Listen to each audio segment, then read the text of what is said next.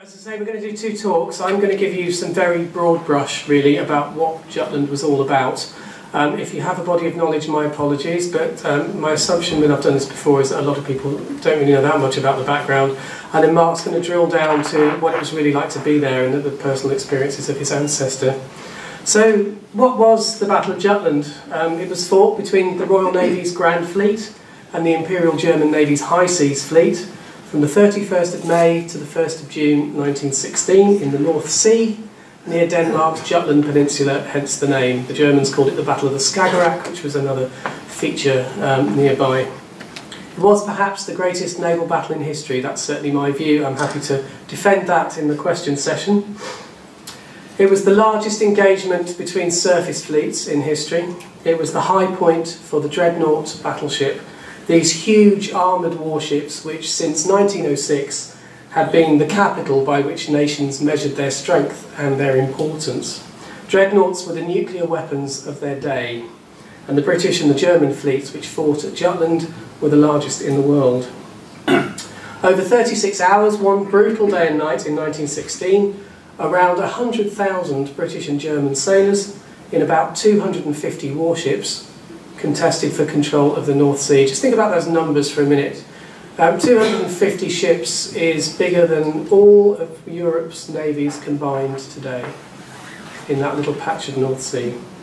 By the end of it, 25 ships had been sunk, so that's about 1 in 10, and more than 8,500 men had lost their lives. But Jutland was almost immediately overshadowed by the land battles which followed, notably the Somme, which was just a month later. After the war, it became marginalised and misunderstood, written off as an inconsequential stalemate. In fact, the Royal Navy had won a costly but decisive victory, allowing it to maintain a starvation blockade which brought severe hardship to the German civilian population. It forced Germany into a disastrous submarine campaign, which eventually brought the USA into the war on the Allied side, and eventually it helped to bring about a mutiny by disillusioned German sailors in 1918. The consequences of Jutland helped to determine the outcome of the First World War. So let's just backtrack a bit with Mark's technology that he's lent me, which works, yay. so during the 19th century, Great Britain dominated the world's oceans until the German Kaiser, Wilhelm II, became determined to make Germany a world power. In 1897, he appointed Admiral Alfred von Tirpitz as Secretary of the Imperial Navy Office. Now, Tirpitz's nickname on this side of the North Sea was Old Forkbeard, so I'll leave it to you to guess which one he is in this photograph. Tirpitz was a convincing advocate of the need for a larger German navy, a battle fleet, and within a year he persuaded the German parliament to pass the first of a series of naval bills calling for the construction of 19 battleships and 50 cruisers. He was trying to build a navy from scratch. The Germans essentially had nothing at this point. They had a very small force of experimental ships. What followed was a costly arms race. The British, inspired by the first Sea Lord, Admiral Sir John Jackie Fisher, some people call him visionary, other people call him insane, and he probably sits on that very fine line between the two. Fisher launched the innovative battleship HMS Dreadnought in this slide here, which was faster, with better armour and more heavy guns than anything else afloat. At the same time, Fisher developed a new type of ship, one which will become very important in the Jutland story, the battle cruiser, which had heavy guns but light armour to allow exceptional speed. Battle cruisers as designed were intended to be super cruisers. They were supposed to hunt down and destroy enemy scouting ships or enemy commerce raiders. They were never supposed to join the line of battle and that becomes important later on in our story. These new types immediately rendered both the British and the German fleets out of date at a stroke. It was a courageous decision which put both sides back to year zero, but the British believed that from a standing start they could build new ships faster than Germany, which was also trying to maintain the largest army in Europe at the same time. In the subsequent arms race to build dreadnoughts, as the new ships became known, Britain remained ahead even though Germany's defence budget increased by a staggering and unsustainable 142%. When Britain declared war on the 4th of August 1914, The British Grand Fleet had 28 dreadnoughts either in service or about to enter service, and 9 battle cruisers. The German High Seas Fleet had 16 dreadnoughts and 5 battle cruisers. And I would ask you just to just keep those numbers in your heads because they will become important too. Because uh, my view is that the Battle of Jutland was lost by the Germans, and this is the point where the battle is lost. They simply don't have enough ships. Britain had long-standing plans to blockade Germany economically. This was a strategy which had worked during the Napoleonic Wars and during centuries of warfare against France before that. But new technology like torpedoes, submarines and mines had brought to an end the era of close blockade outside the enemy's ports. You couldn't simply sit outside, camp outside their ports, because somebody would torpedo you. Instead, the Admiralty opted for what was called a distant blockade. They closed the dangerous narrows of the English Channel with mines and torpedo boats, and they held the Grand Fleet, all the Navy's most modern ships, at Scapa Flow in the Orkney Islands, ready to put to sea if the Germans should threaten to break out to the north. And the Admiralty War Plan of July 1914 explained it in detail. This is a quote. As it is at present impracticable to maintain a perpetual close watch of the enemy's ports, the maritime domination of the North Sea will be maintained by occasional driving or sweeping movements carried out by the Grand Fleet.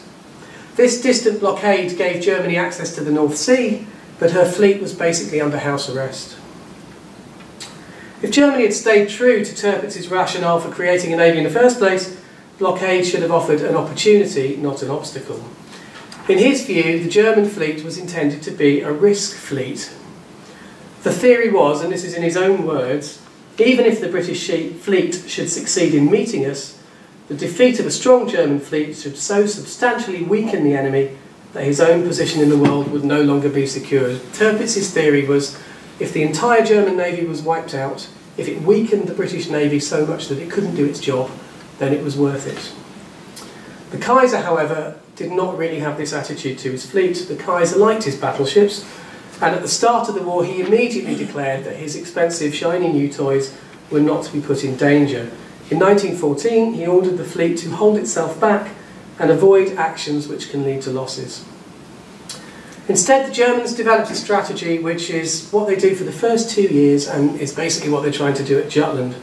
The German aim constantly throughout the war is to draw out a small portion of the British fleet, annihilate it, so that you can get equality in numbers. Once they had equality in numbers, the German fleet would then sortie from its base in Wilhelmshaven in a great confrontation which was widely anticipated in Germany as Der Tag, the day, German officers used to sit in their wardrooms and raise a glass of schnapps to Der Tag. the British Commander-in-Chief, Admiral Sir John Jellicoe, was determined to avoid unnecessary risks of this nature.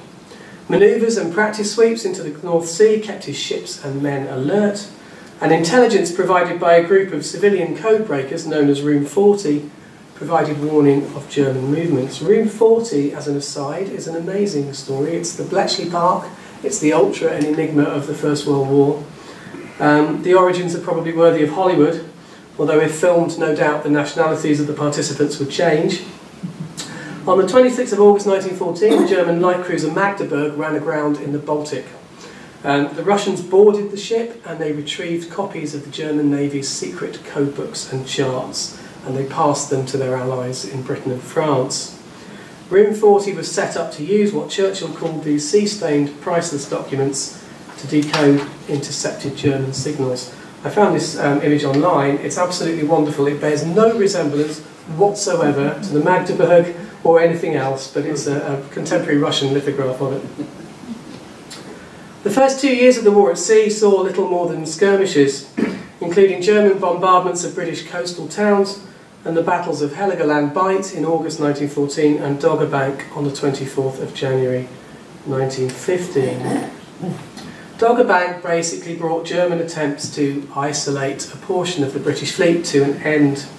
It was a clumsy and badly fought battle between the two battle cruiser forces. Vice Admiral Franz Hipper, the German battle cruiser commander, nearly lost his flagship Seydlitz when a shell from HMS Lion penetrated her turret causing a fire which reached her magazines and killed 159 men. Only the quick wits of an officer in flooding the magazine um, prevented a catastrophic explosion. Again, this happens again at Jutland on the British side. To make matters worse, this ship here, the small German battlecruiser Blucher, was surrounded and sunk. On the British side, cat catastrophic signalling errors meant that most of the British fleet concentrated on sinking the Blucher instead of pursuing the rest of the escaping Germans. Dogger Bank taught the Germans a great deal about damage control and flash protection. Sadly, on the British side, Vice Admiral Sir David Beatty's battle cruiser force learnt entirely the opposite lesson. British gunnery at Dogger Bank was very poor. They struggled to hit the target. So Captain Ernle Chatfield Beatty's flag captain wrote that rapidity of fire is what we want to see. As there wasn't time to practice the gunnery and hit things better, the idea was if you put more steel in the air, proportionally more of it would hit. As a result, lethal practices aimed at speeding up the rate of fire started to become policy in the BCF. They included stacking these things, incredibly volatile cordite propellant charges, in the turrets and in the handling rooms immediately below them removing the flash-proof doors which divided the chambers, and removing these flash-proof covers which the cordite bags were stored in. This is actually on HMS Queen Mary.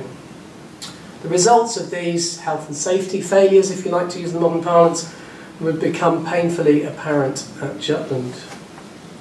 A furious Wilhelm II, who was appalled at the loss of life in the Blucher, fired his commander-in-chief and blocked any further fleet operations for the rest of 1915. In January 1916, Vice Admiral Reinhard Scheer, this man here, took command of the High Seas Fleet. Scheer was an aggressive and talented commander, and he hoped that he could goad the British into making a mistake. He rightly recognised that, and I quote, England's purpose of strangling Germany economically without exposing her own fleet to German guns has to be defeated. Scheer understood what this was all about, that blockade was a deadly weapon. By the end of February, Scheer had successfully obtained the Kaiser's approval to take the fleet to action again. The build-up was gradual, but in early May 1916 he started to develop the plan which would lead to the Battle of Jutland.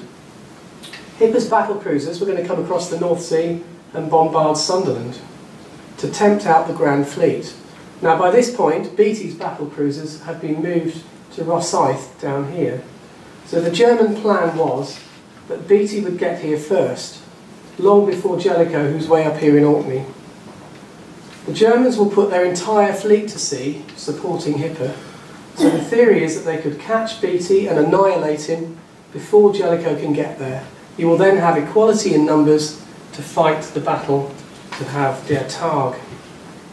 The Germans also stationed U-boats, German submarines, around all the principal British bases, the theory being that they could pick off some of the British ships with submarines before they get there. The entire complex operation was dependent on reconnaissance by German Zeppelin airships. Uh, bad weather rendered this unavailable, so Scheer switched his plan to a slightly less complicated idea, much the same plan. He would sortie the battle cruisers to threaten the British convoy to Norway, and again the theory is that Beatty would get there first, destroy Beatty, fight Der Tag against Jellicoe.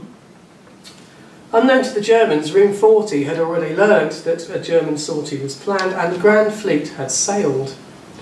Unfortunately, this intelligence advantage was compromised because the Director of Naval Operations, a man named Captain Thomas Jackson, RN, didn't really have much time for his civilian codebreakers, arguing that, quote, those chaps couldn't possibly understand all the implications of intercepted signals.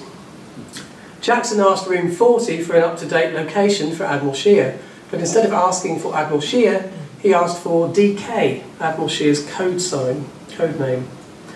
DK was Admiral Scheer's harbour call sign. He only used it when he was in harbour, so clearly the room 40 men answered the question and said DK is in harbour. When Scheer was at sea, he used an entirely different code name. So the Grand Fleet was ordered to stand down and carry out another practice sweep. They were at sea, but they didn't expect a battle.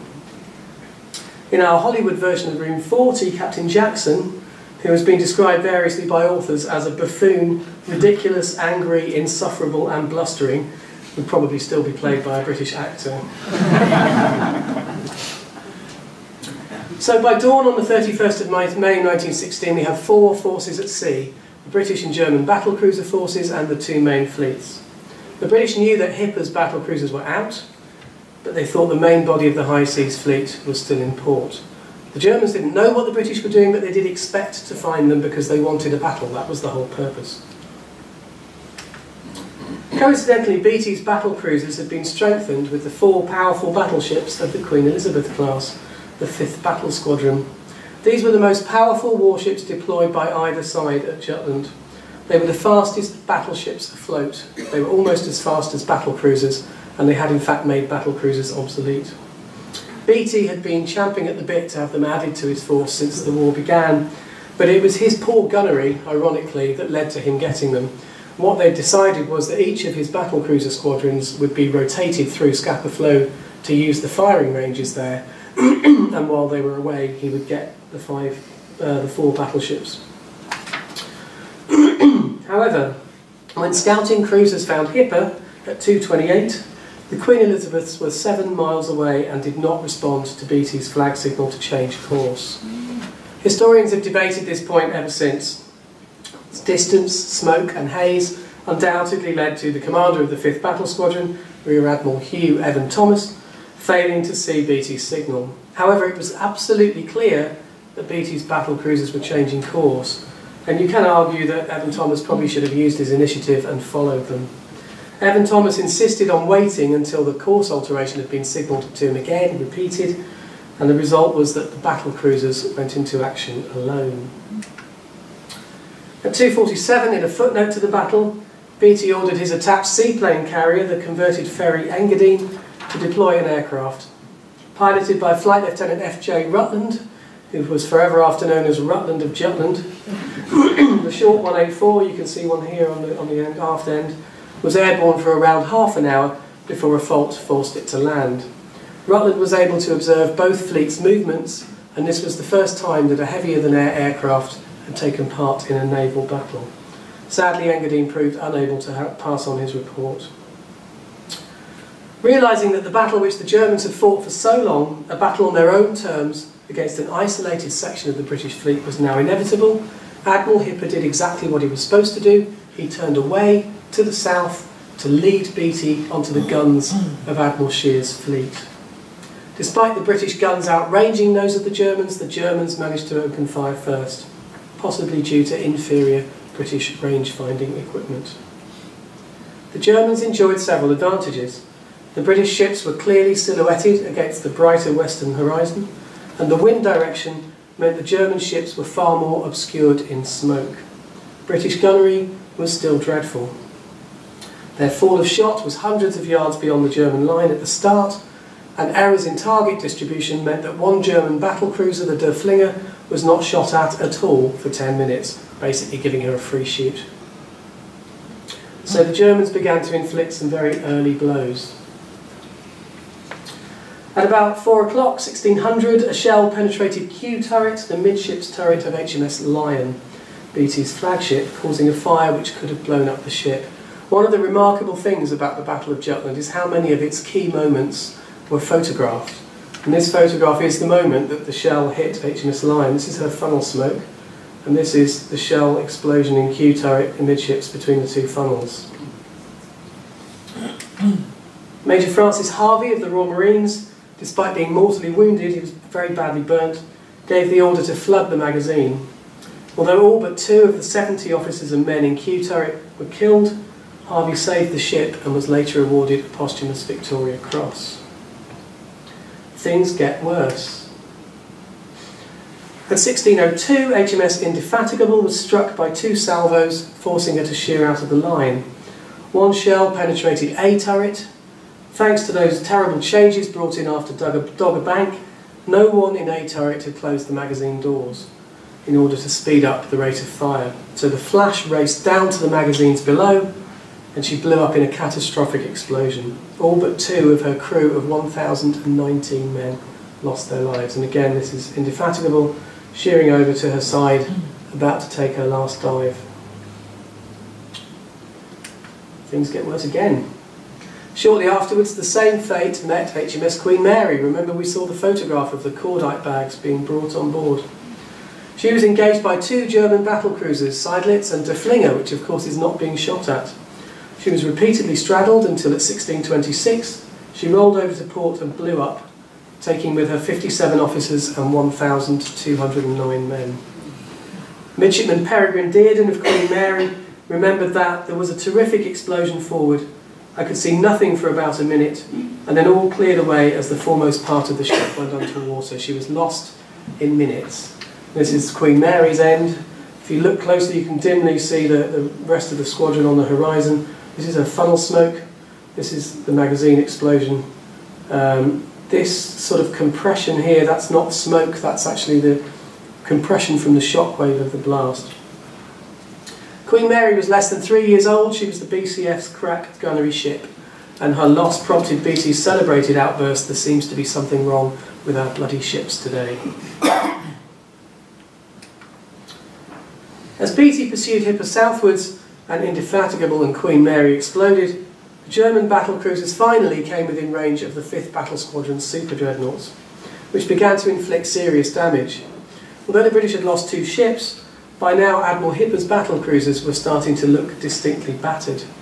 Four out of five had been hit repeatedly, they were flooding, and they had trouble with their main armament. But better armour, superior design, and above all better flash protection, meant that none was at this stage in danger of sinking. Between the two battle cruiser formations, a free-for-all developed as both sides sent their destroyers and torpedo boats forward. Two German torpedo boats were sunk, two British destroyers were severely damaged, and the German battle cruiser Seydlitz was torpedoed. 1633, Beatty received a signal from his scouting light cruisers reporting that the entire high seas fleet was ahead. At this point, Beatty realised that his role has now changed. He reverses course to head back to the north to Admiral Jellicoe and pull the entire German force after him. In 1640, he signalled his battle cruisers to turn away and retreat to the north. As the Germans approached, the two British destroyers damaged earlier found themselves under the guns of most of the high seas fleet. Commander Barry Bingham, a local boy from uh, just down the road from here, in HMS Nestor, whose crippled ship was just 2,000 yards from the German line when she went down, recalled leading his men in a chorus of Tipperary and God Save the King while awaiting rescue. Bingham spent the rest of the war in a German POW camp, but for his leadership of his division of destroyers, he received the second of the battle's four Victoria Crosses.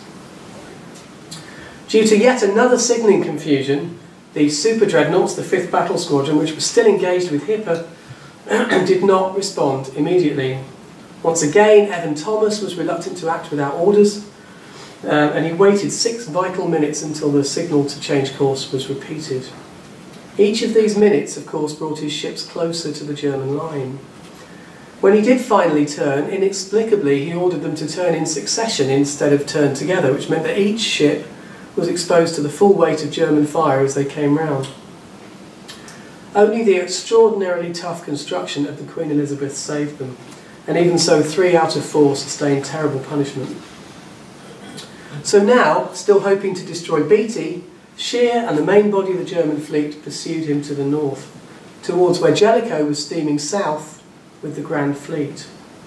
Jellicoe's ships were still in what was known as a cruising formation. This is a tight easy to manage box of four columns, six columns, sorry. What he needed to do was deploy into a single line to fight the battle, but he was unable to do so until he received accurate reports from Beatty, who remained frustratingly silent for most of the time. Jellicoe was heard to mutter as he stomped around on his bridge, I wish someone would tell me who is firing and what they're firing at.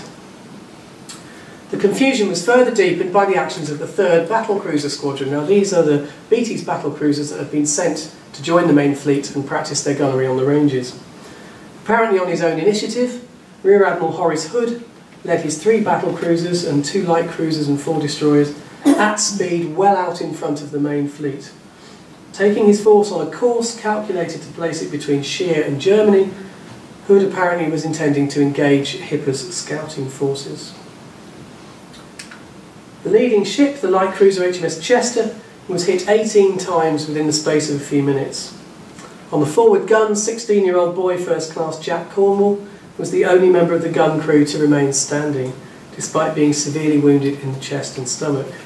Chester was very, very badly damaged, and forced to turn for home, and Jack was still alive when the ship got back, but he died soon after the battle, and was the day's third recipient of the Victoria Cross, and also one of the youngest ever to be so honoured. As the severely damaged Chester ran for safety, Hood's three battle cruisers, Invincible, Inflexible and Indomitable, swept into Avenger, reducing a German light cruiser to a smoking stationary wreck and driving off her sisters. Hood's four destroyers, led by this man, Commander William Loftus Jones in HMS Shark, launched a determined assault on the German line, but outnumbered and outgunned, they were unable to get close enough to make an effective attack. Shark sunk, and Loftus Jones became the fourth and final Jutland VC. His body was washed ashore some weeks later in Sweden, where he's buried today. Finally, in 1814, Jellicoe received the long-awaited signal from Beatty, have sighted enemy battle fleet bearing south-southwest. Jellicoe deployed into line to port, the best position to cross the T of the enemy. In many ways, Jutland is a very modern battle. In many ways, it isn't. And what Jellicoe is trying to do is exactly what his predecessors were trying to do in sailing ships 100 years before. Bring all the weight of his firepower on the front of the German line. This deployment left part of Jellicoe's screen, the old armoured cruisers of Rear Admiral Sir Robert Arbuthnot's 1st Cruiser Squadron, dangerously exposed. They were trapped between the two battle lines. Arbuthnot, who was allegedly an eccentric and belligerent officer, drove his ships without hesitation straight down the side of the British line, apparently in pursuit of some damaged German light cruisers.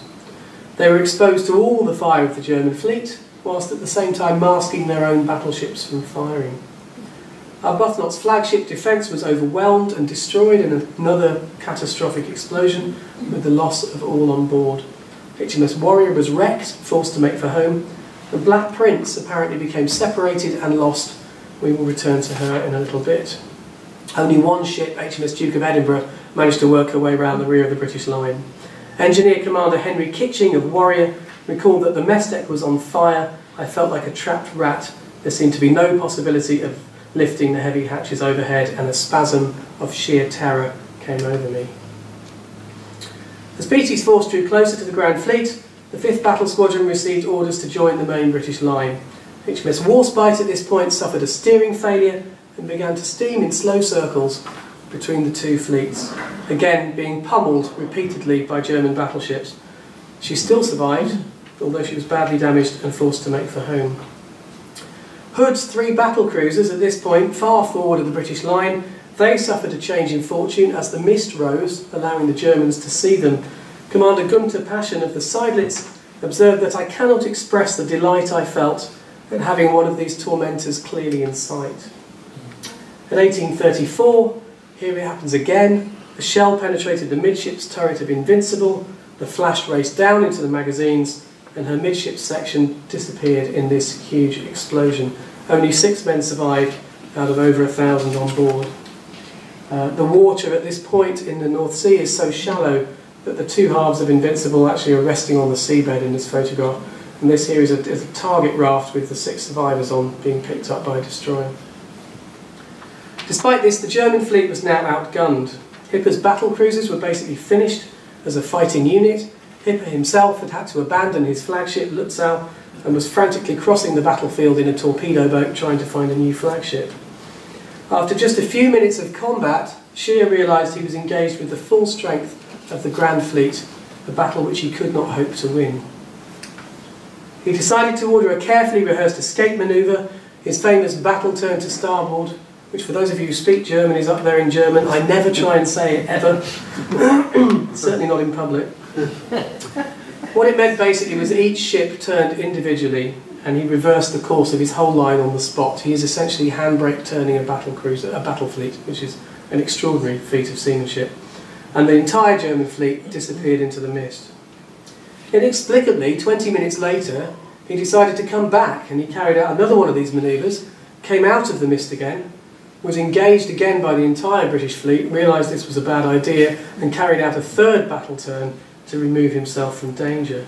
He's never really explained in his memoirs what um, his thinking was, because it could very easily have turned into the organised mass suicide of his entire fleet.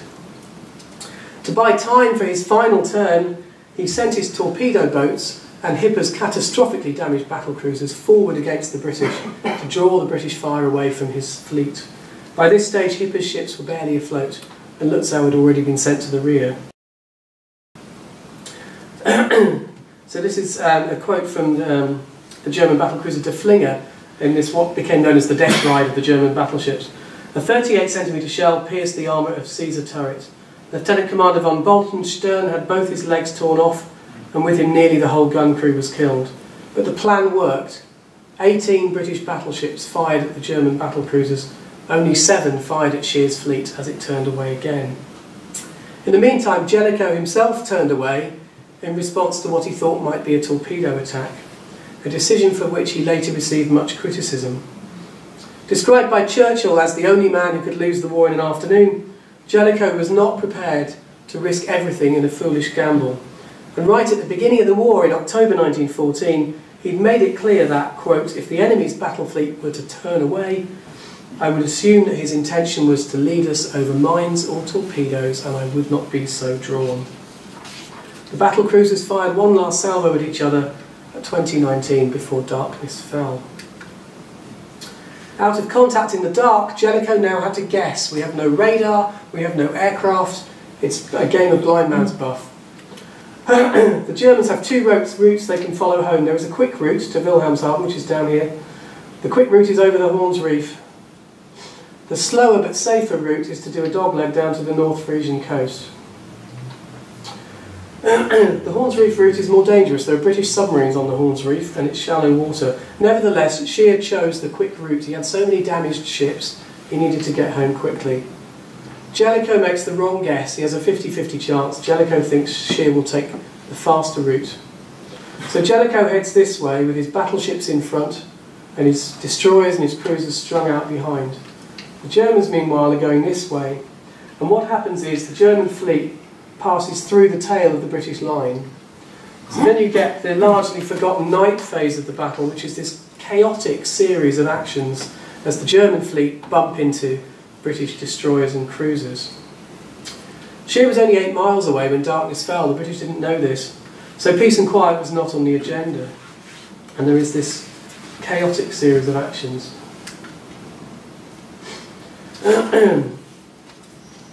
So um, one of the first is the German light cruisers of the 4th Scouting Group engaged the British 11th Destroyer Flotilla led by the light cruiser Castor. This is uh, almost identical to, to Caroline. Germans flashed the British recognition signal, sneaky devils, and they closed to 1100 yards before opening fire and turning on their searchlights. Castor was hit seven times, lost 12 men dead and turned away. There was then a brief firefight between more German light cruisers the British cruisers Southampton and Dublin were badly damaged and set on fire. Southampton fired a torpedo and sank the German light cruiser Frauenlob. This is the nature of the night actions. Nobody, nobody knows what's going on. Incredibly, at one point, two German battle cruisers, the Moltke and the near-sinking Seydlitz, are actually sighted by British battleships. Nobody opens fire because nobody's had orders to do so. Marlborough's gunnery officer wrote later of his regrets, of course, what I should have done was blow the ship out of the water and then said sorry. At midnight, the converging courses of the fleets met, separated by a mere 15 minutes from what would have been a fleet action at night. The High Seas Fleet actually passed through the tail of the Grand Fleet, and the British 4th Destroyer Flotilla ran straight into the German battle line. Tipperary, Fortune and Ardent were all sunk. HMS Spitfire accidentally rammed the German battleship Nassau carrying away 20 feet of German armour as a souvenir. The Nassau fired back at her. She couldn't depress her guns low enough, so she didn't score a hit, but the blast stripped all the upper works away from the Spitfire, which actually got home. By the end of this series of actions, the 4th Flotilla had virtually ceased to exist. At this point, HMS Black Prince, remember her? She'd been lost since earlier in the day. She stumbled across the entire German battle line and was rapidly reduced to a blazing hulk. All on board were killed. Naval Cadet Heinz Bonatz on board the dreadnought Nassau described the scene. Within a few minutes, the cruiser was a glowing wreck and sank after a mighty explosion, a horrible but imposing sight. Again, as these skirmishes lit up the night sky, the British fleet was so close that sightings of German battleships took place, but nobody fired because they hadn't received orders. The Admiralty compounded the error by not passing on German signals which had been intercepted, including one which was a request by Scheer for airship reconnaissance over the Horns Reef, which would have been an absolute clear indicator of which way he was going home. At 1.30, another skirmish lit up the night as two British destroyer flotillas again met the German fleet. The British commander believed that the German ships were British and he tried to button on in a screening position and pass ahead. Ten ships passed unseen, but the last two in the line were spotted and raked by German fire. HMS Petard was badly damaged and HMS Turbulent was sunk. Only just before dawn at 3.10 in the morning did a British commander assemble a coordinated and effective torpedo attack. The 12th Flotilla, under Captain Stirling, encountered the German line. He signalled what he'd seen, first man to actually do that, in a textbook example of good reporting, and he led his ships into the attack in ideal conditions, with the dim light of early dawn negating the advantage the Germans had with their searchlights. The old pre-dreadnought Pommern was hit by at least one torpedo, which caused a massive magazine explosion, broke the ship in two, and she sank with the loss of all 844 officers and men on board. The attack was the last British effort, and the rest of the German line escaped, although Hipper's um, crippled flagship, the Lutzow, was alone and in near sinking condition and was scuttled by her own crew, along with the light cruisers Elbing and Rostock. The light cruiser Wiesbaden, which had been battered all day by the British, also slipped beneath the waves, unseen by any witnesses. The final shot of the battle came at 6.20 when the German dreadnought Ostfriesland ran over a British mine laid by a mine layer attached to the fleet. One man was killed and ten wounded, and the ship took on a great deal of water, but she made it home. The last German ship to return, the virtually wrecked battlecruiser Seydlitz, finally grounded on a sandbar outside the Jade River at about 9am on the morning of the 2nd of June. She didn't really ground, she sank, and we'll come back to this point in a little minute, but um, that, that ship was not getting home. If she hadn't been so close to home, she would have sunk. Dozens of ships were damaged, 25 were sunk. With the exception of Queen Mary, most of the British losses, to be coldly factual about it, were tactically insignificant. Invincible was amongst the oldest of the British battle cruisers, practically obsolete, and Beatty's flag captain Chatfield described Indefatigable as smaller, weakly protected, and not a really serious tactical loss. The old armoured cruisers, Black Prince, Defence and Warrior, were pretty much worthless and probably shouldn't have been present. Eight destroyers were lost out of 77 available to the British.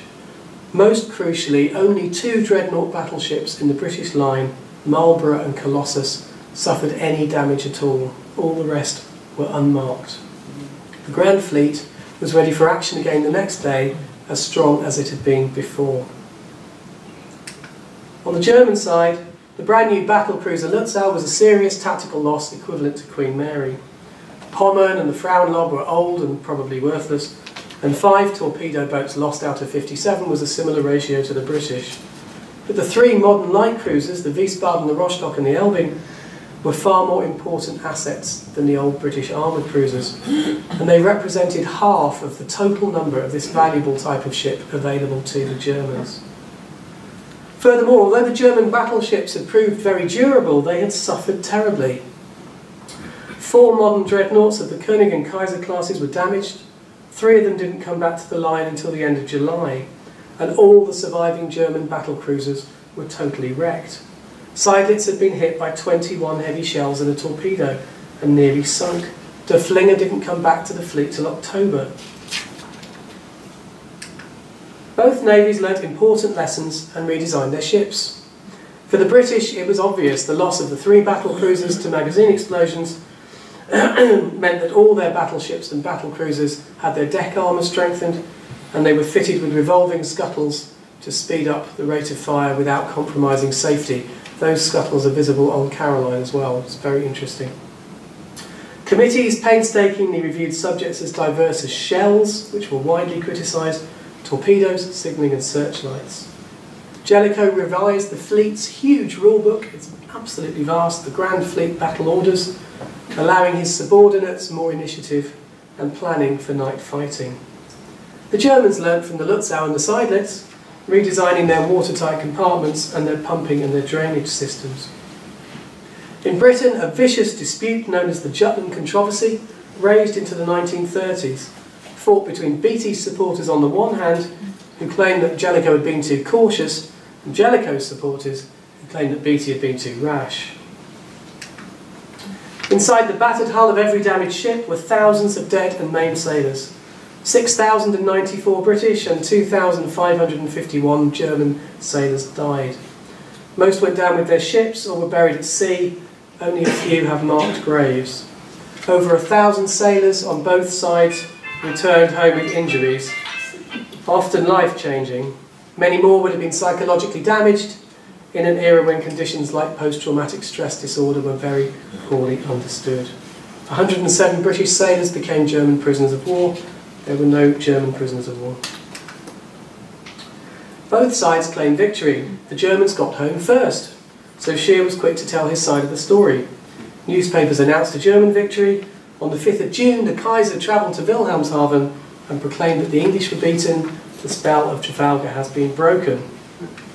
At this point, the Grand Fleet is still on its way home.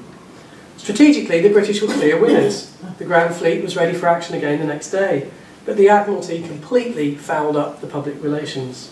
Jutland was a hard victory to sell in any case. How do you convince the public that you can lose more ships and more men and yet still win the battle?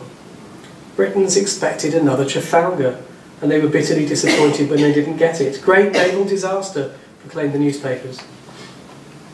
But in the end, the entire German plan, the only reason for the existence of the German Navy, was to defeat the Grand Fleet and take control of the North Sea.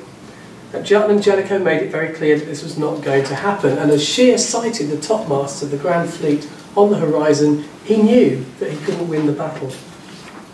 After just a few minutes of fighting, he got his fleet out of danger. So shaken were the Germans by the weight of the British response, they never again seriously challenged the control of the North Sea. And very soon after his return, Scheer started arguing passionately for a return to unrestricted submarine warfare. The High Seas Fleet's morale declined, and in November 1918, when they were ordered to carry out a final operation, the crews mutinied.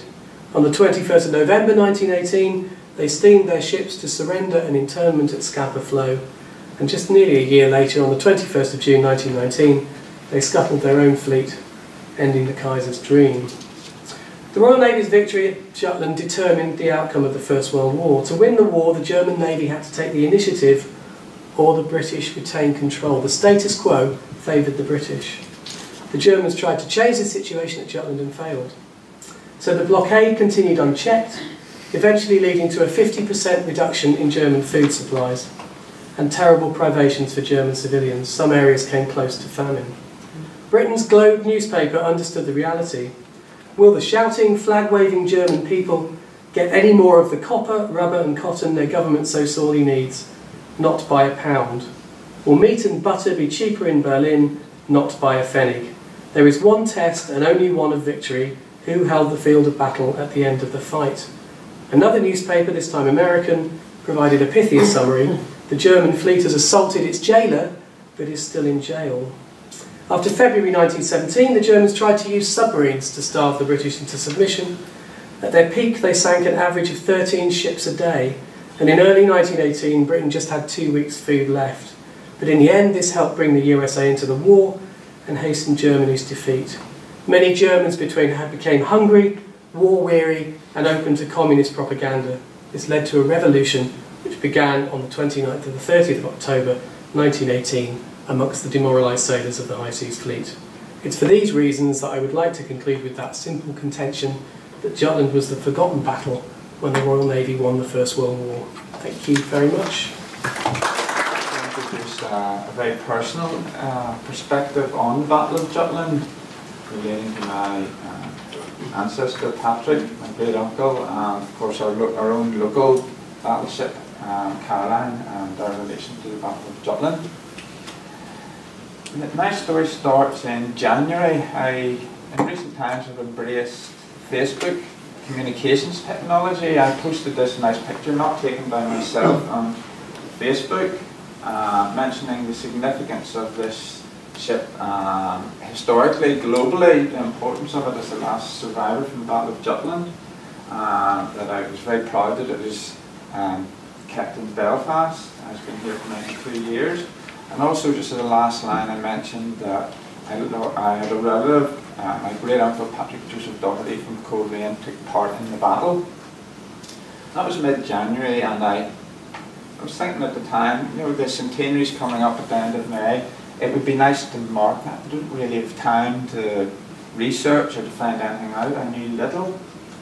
I was surprised a couple of weeks later I received a personal message from New Jersey from Carol, Karen Reynolds Kewen, uh, who like me, um, her, Patrick was her great uncle, so she was a relative um, living in New Jersey, and she had quite a lot of information about Patrick and about the family that was unknown to me.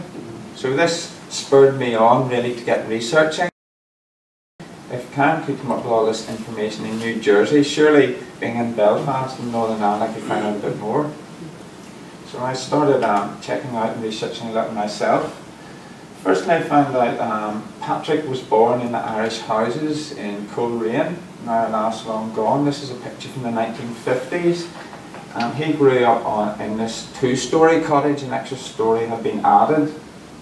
Uh, he was born in 1892. The son, um, sorry, uh, you see, um, and he would have been baptised in St John's Roman Catholic Chapel in Coleraine quite a distinctive church that um, looks over the River Bann in Coleraine. Patrick was the son of John and Bridget Doherty. He was actually the ninth child in the family.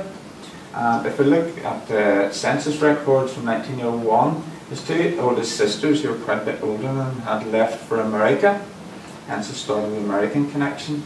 And he had two little brothers born, uh, born as well, Charles and Harry, and this completed the family. By 1911, unfortunately, his mother had died. Other relatives had gone to America or had, had married and were elsewhere in Northern Ireland. This is a picture of some of his siblings uh, around 1915. All those who weren't present were either in America or at war. Of particular interest to me was this lady, Eliza, his sister. She's my um, great-grandmother. This is a picture of um, Church Street in Coleraine looking towards the town hall around 1910 when Patrick would have lived in the area. He worked, it's not a very good picture, he worked in Hills Brick and Tile Works, a couple of fields away from the cottages. Um, his sister Eliza worked in a, a flax mill beside that. So he worked in not particularly glamorous surroundings, I would imagine, um, just a couple of fields away from home. So he, he moved in a very small orbit the 26th of January 1915 he decided to join the Royal Navy and maybe I'd speculate on why he chose the Royal Navy. Obviously he felt the need to, um, to help with the war effort, possibly um, a desire to see the world as well and maybe money was better. There were a lot of people who took part really to get more interesting work. One, this picture has been in the family. It's a copy of a, a photograph by W.A. Green. This there's a of this has been in the family for a long, long time. My father has it. And I wonder, that's the main bridge in Coleraine. With, Coleraine was a port, and it was very common for people who lived near ports to join the Royal Navy. Patrick, as he went back and forth to the town, would have passed these ships. Maybe he felt a calling to go to sea. This is a picture of him shortly after um, he was recruited um, in Portsmouth in training. He trained to be a stoker. This is a this is an occupation that only existed for a few decades um, whenever ships were coal and steam powered. Grim work, very heavy, dark work below decks, and, and it's very interesting to contrast it with the life of the um, senior officers above decks. This was a, another world, a world of heat, darkness, dirt, oil, noise, completely um, cut off from what was happening above. You know very little about what was going on, except possibly you need to shovel faster and adjust the, the machinery. Patrick also, very significantly, he was um, on the 16th of April 1915, he was stationed on HMS Lion. And he continued there um, in his career in the Navy on HMS Lion, an extremely significant ship, as Nick has already alluded to, as a flagship of the battle cruiser fleet.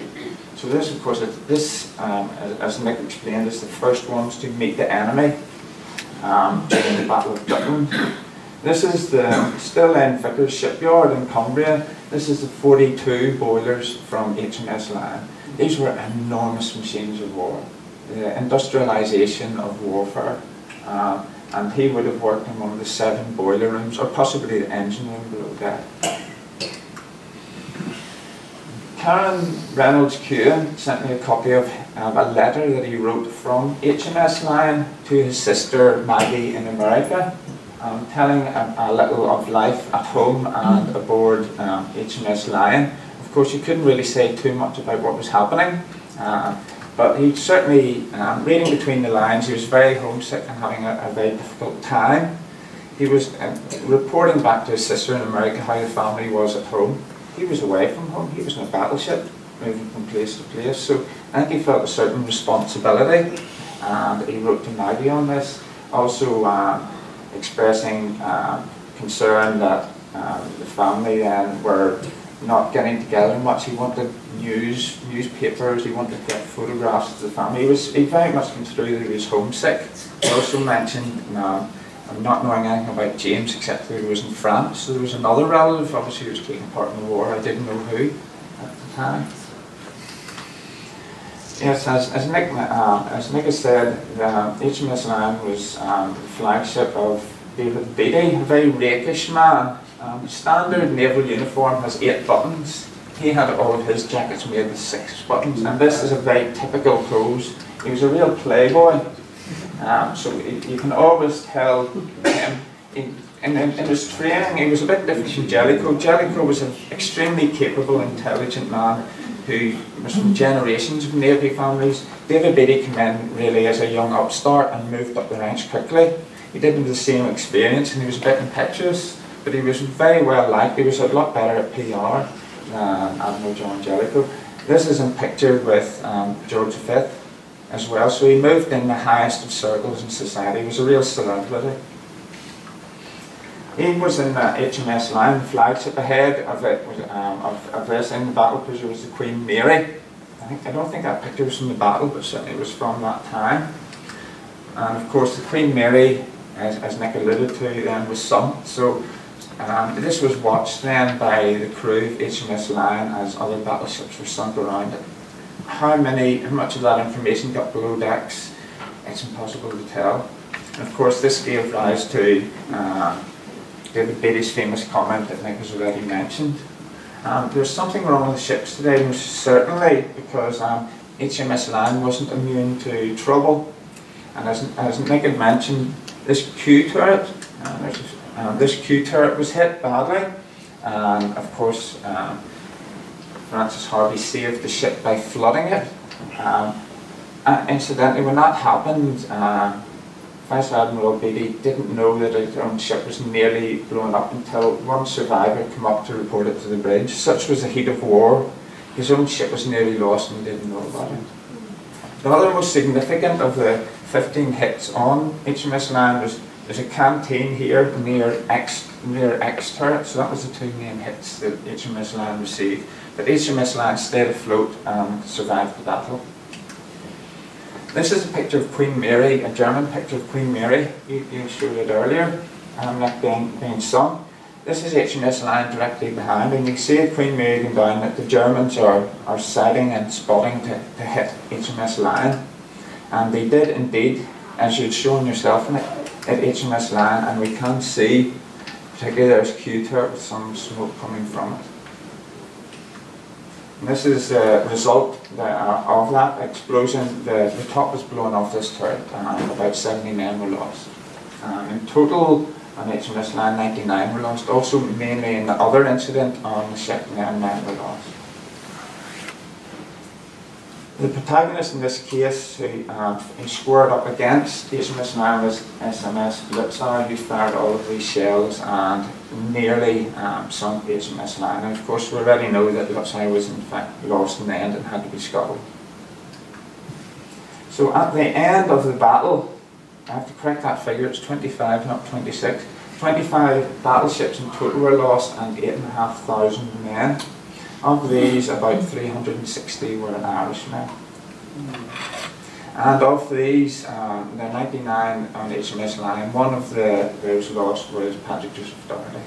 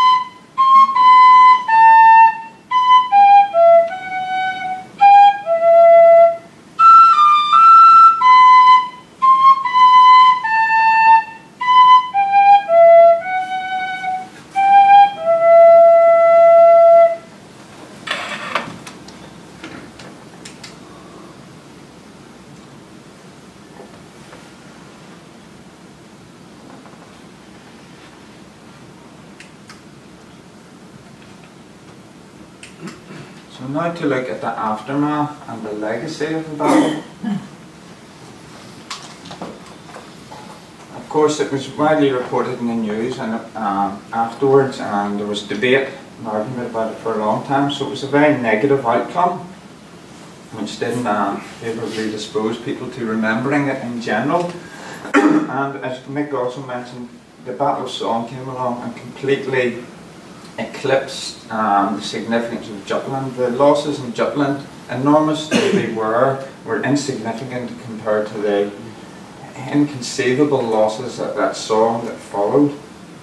Also in a more local context, in Ireland, both north and south, um, there was a lot of political turmoil. A lot of um, other um, events were taking focus off the Battle of Jutland, so it was forgotten about, pushed away. Um, also, Patrick Joseph Doherty was from a Roman Catholic background, so there were political forces again at play there, and it tended to be maybe forgotten about a bit, not talked about, hence possibly as a consequence I didn't know that much about uh, Patrick and family history relating to World War One. Another aspect um, of the aftermath is there was a Washington Treaty, um, a naval treaty to limit um, the arms race of battleships, and most of the ships from the Battle of Jutland were scrapped in 1924. This is um, part of HMS Lion in the north of England being taken apart. Of course, we were fortunate in many ways that HMS Caroline, which was nearly scrapped, instead it was taken to Belfast to be used effectively as offices and workshops for the Royal Navy Voluntary Reserve in Northern Ireland. And Patrick Joseph himself, uh, uh, looking at the local newspapers at the time the Coleraine area, he, he featured in um, newspapers quite a few times over the, the, month of June in 1916, so that was gratifying to see that he was well remembered. Um, at this time, then the Irish houses, going back to his home, by 1921, there was only his sister Eliza, my great-grandmother, left at the house. Everyone else had gone to America or married and moved away, so she then lived the rest of her days as a single mother. She's got an interesting story of her own in that cottage to the end of her days, and actually brought up my father and his siblings as well.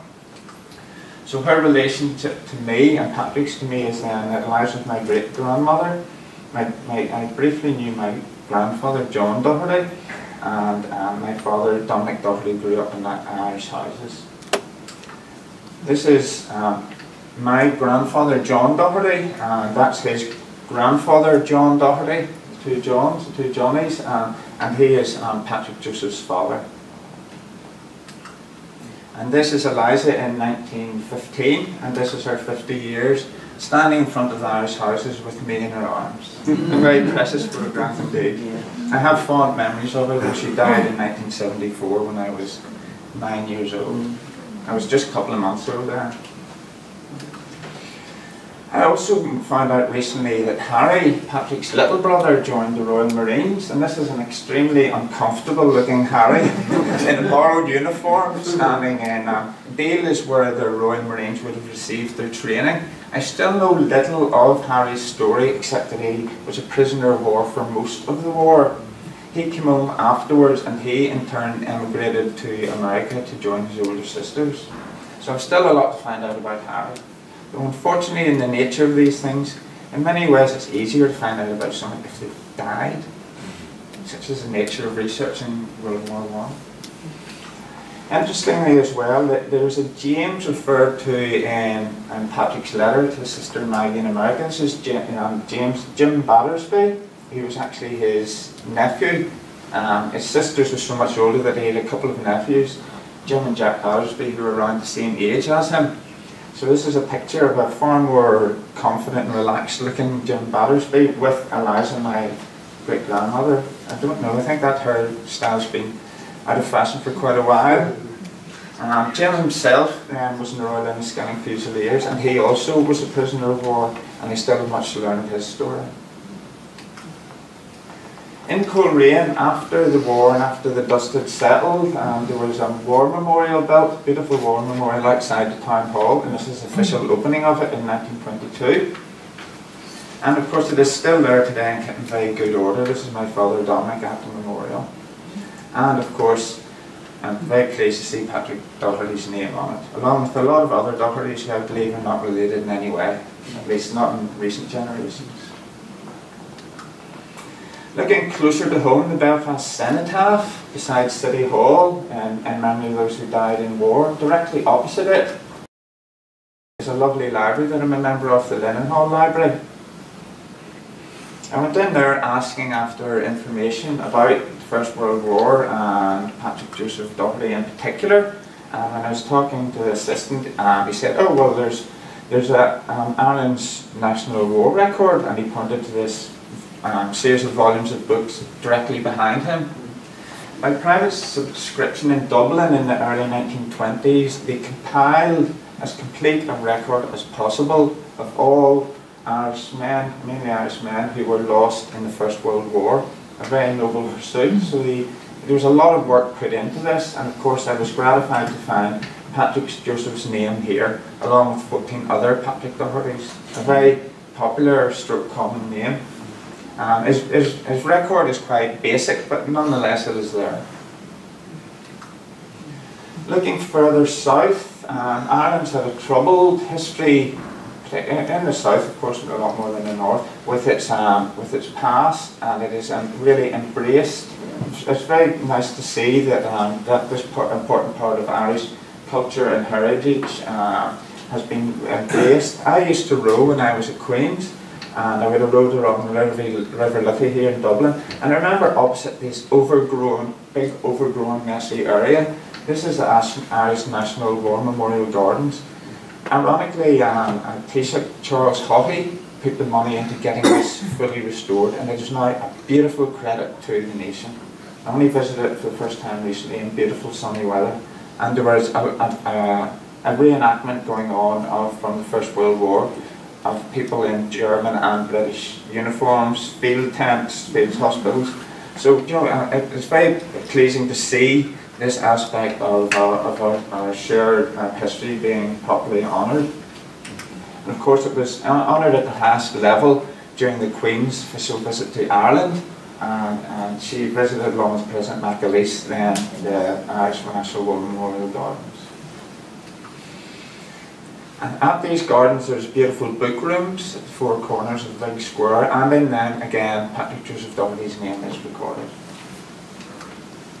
Also at Portsmouth there's a large memorial to all of the Royal Navy seamen who were lost at sea during the war. And on panel 15, again, Patrick Joseph's name is recorded. So it's very um, pleasing as a descendant to see that his name has been recorded for posterity and that it is be seen. Looking a bit further afield, um, part of the centenary um, commemorations, I'm, I'm, very fortunate we've got friends in Denmark, um, and here at the site of Jutland, um, they've not only opened a Sea War Museum, but they've also, this is a couple of months ago during construction, they're constructing a memorial to all those who were lost at Jutland. It's taking the form of a, a, a large, a, a large a, a, large stone for each battleship, roughly in the shape of their positions within went down. These stones then representing the prows of the ships with the names um, of the ship and the amount lost, both um, both British and German, because fortunately Denmark is a neutral territory, and there will also be one of these little statuettes for every person who was lost whether the ship was lost with him or in Patrick's case, if he was lost but the ship survived. Coming back closer to home, HMS Caroline, after the war, Caroline did service in the East Indies protecting um, merchant shipping. Um, before she did that, she was also used um, for some development of um, the technology of ships um, carrying planes and successfully launching them. And Caroline was used to successfully launch this Sopwith biplane. Of course, now since 1924, she has been berthed in Belfast and in and she has been used um, for, by the Royal Naval Reserve and well used. She of course survived the Second World War where Belfast was a major target of German bombing which was a, victory in itself. So this, this ship was born to be a survivor. Um, but of course she, she's been very well used and was um, over a century old actually before um, enough lottery money and money was gathered up from Belfast City Council and, and other funding sources to restore her. Um, whenever she was finally decommissioned in 2011 and her ensign was hung in Belfast City Hall, in Belfast, St St Anne's Cathedral. This was the state of her in 2011, whenever she was decommissioned, so she didn't look too pretty. So there was a, very, a plan put in place to restore, of course, with a very important deadline the 31st of May 2016, the centenary of the battle.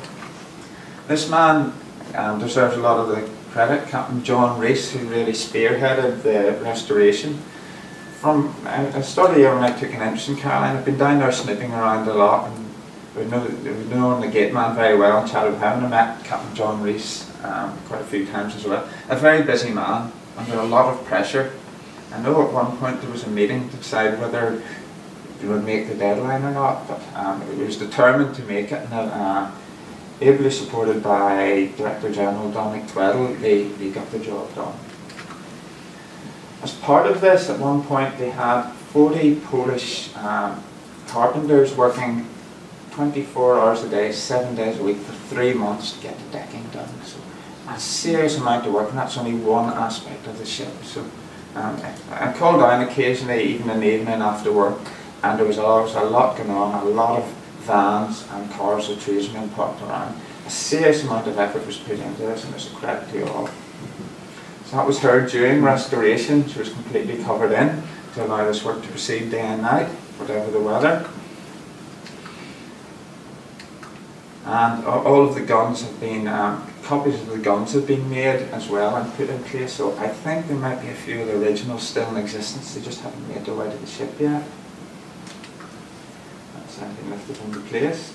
Also, I've been really promoting the, the memory of Patrick Joseph Doherty and this article on him featured in the Royal British Legion magazine in April in advance of the, the centenary of the battle, along with many other stories as well. So this, um, this battle was commemorated then on the 31st of May this year. Um, HMS Land is in pristine condition for that, absolutely beautifully restored. The actual commemoration was quite a, an undertaking of a, a, a, day's event as well, I have to thank um, Ulster History Club, uh, Karen O'Raw, and the Royal Navy's most senior man in Northern Ireland, Commander John Gray, for what was a very well organised and moving um, occasion. This is Caroline on the day. Absolutely fantastic weather, blue skies, temperatures well up in the 20s. There was immediately um, a risk of a, a, a, serious incident because it was so hot and we were sitting along the front here.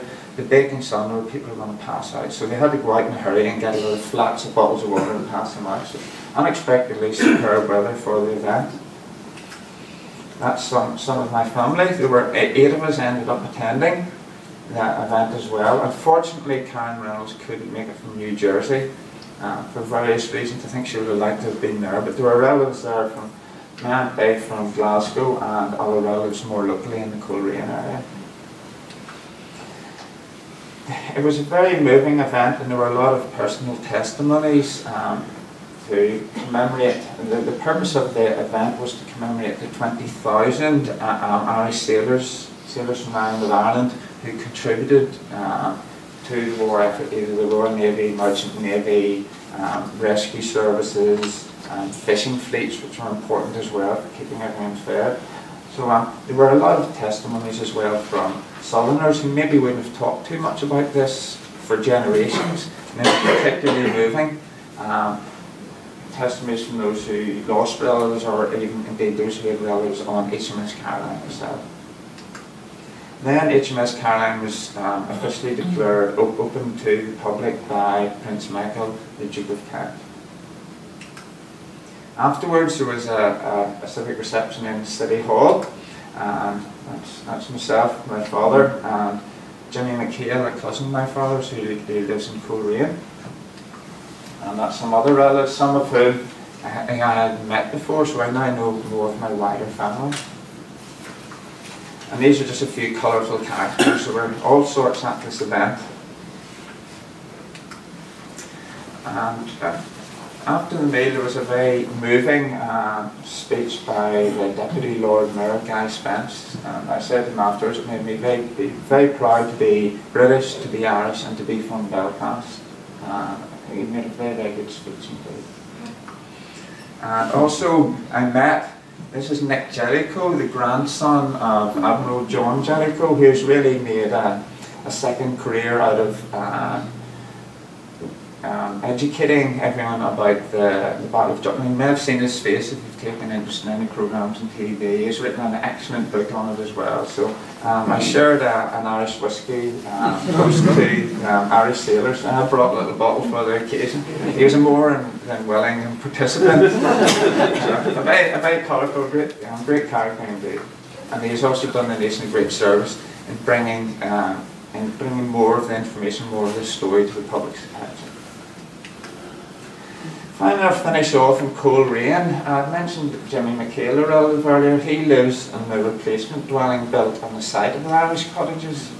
And he was an art teacher and he has done this, he has created this lovely drawing of, of the Irish houses as they would have looked back in the day as well.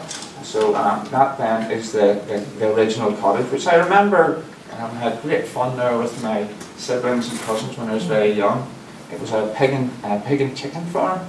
So we were able to get out and get dirty and have a good time there. But also, it was very nice to see that uh, on the site of the house where Patrick Joseph was born and um, grew up, that Jimmy still um, treasures his, his, his death penny, his memorial plaque, and his victory medal as well. Mm -hmm. Indeed, he has he has this on the wall framed along with his, his wife Ruth also lost somebody in the war, so he has on both sides of the family he's put the, these plaques up on the wall very tastefully framed. So it was nice then in conclusion to see that Patrick is well remembered and he's even well remembered where he was born. So just then in conclusion, in memory of Patrick Joseph Doherty um, and also for all those who gave their lives at the Battle of Jutland. And I think it's appropriate then to uh, to mention this little um, piece put in the paper by his family and it would apply to all who died. A loving son true and kind, loved by all he left behind. Forget him, no, we never will. As time rolls on, we miss him still. And that's just a view from Jutland out over the sea where the took place. Thank you.